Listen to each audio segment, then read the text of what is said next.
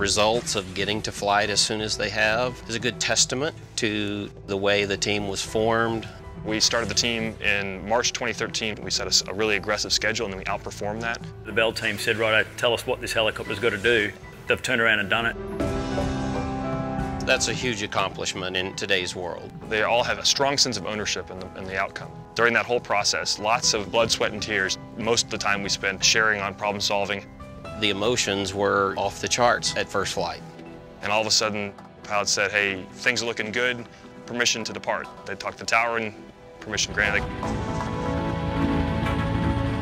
To see that aircraft take off and just fly through those sort of motions near the ground, the sideways uh, flight, and then into forward flight, and then away into the sky, just fantastic.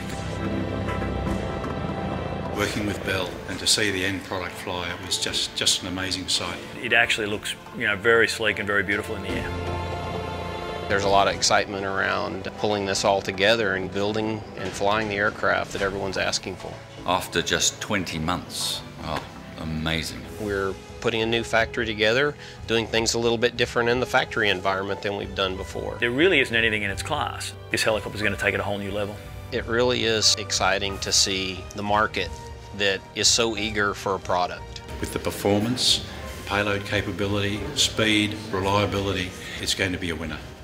There's no other helicopter like it.